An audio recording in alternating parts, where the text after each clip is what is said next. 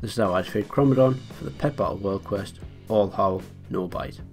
For this all you will need is a Turriclaw hatchling with Alpha Strike, Dodge and Nature's Ward. The remaining two pets can be anything with small hitting abilities such as Flock, Make It Rain or Inflation. We need small hitting attacks as Chromadon's passive ability ignores attacks above 250 damage. Start with your Turriclaw hatchling, cast Alpha Strike. When Chromadon uses Howl, cast Dodge.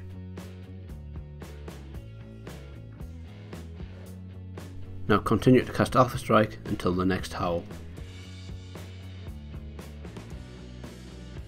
When Chromadon uses Howl for the second time, your dodge won't be off cooldown, so cast Nature's Ward instead.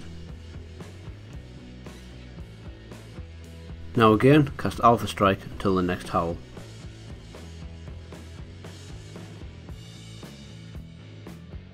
When you see the third howl active, cast dodge.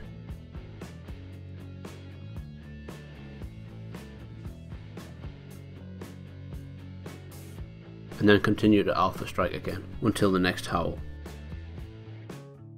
On the fourth howl, your dodge will again be on cooldown, so you can use Nature's Ward here again, or you could just cast Alpha Strike until Chromadon is defeated. You can also use dodge when it comes off cooldown to avoid some damage, especially if Chromadon gets the Dragonkin buff where it does an extra 50% damage. If you get some bad RNG and your Turriclaw dies, bring your backup pet to finish off the fight. If you found this video helpful, please like and subscribe. Thanks for watching.